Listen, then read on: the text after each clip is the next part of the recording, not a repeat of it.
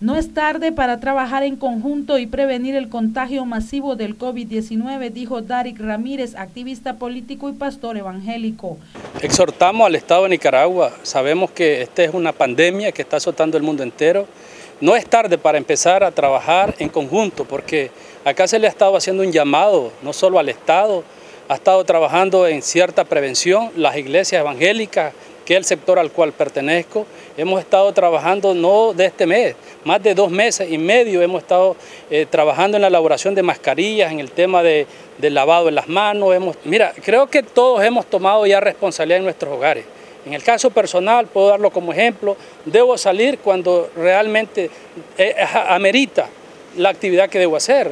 Creo que es el momento de cada padre familia que todavía está mandando a sus hijos a diferentes actividades, piense, es más fácil prevenir que tener un enfermo en un hospital que no lo vamos a poder ni acompañar ni estar con él, porque esta enfermedad también nos limita a que estemos en contacto con nuestros enfermos. Así que es más barato y más eh, sencillo evitarlo que tener a una persona ya con el contagio.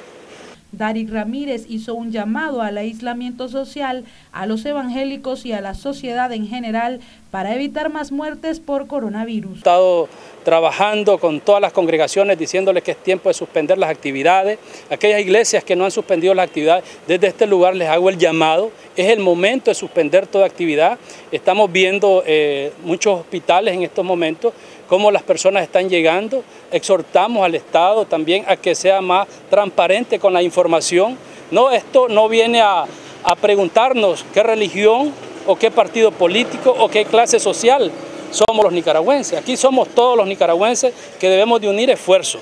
Hemos estado trabajando y vamos a seguir trabajando a la par de cada persona que necesita el apoyo.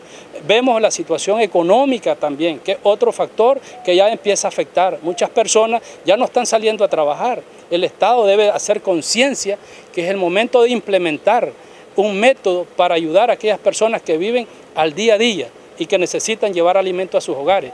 Y es el momento como nicaragüenses que nos empecemos a ver, sobre todo como hermanos, como, como una creación que hemos sido por Dios nada más. Hay muchas personas que en este momento lo que tienen es rencor en sus corazones y sobre todo es el llamado que debemos de hacernos, levantemos y quitemos toda tipo de revanchismo. Para Noticias 12, Castalia Zapata.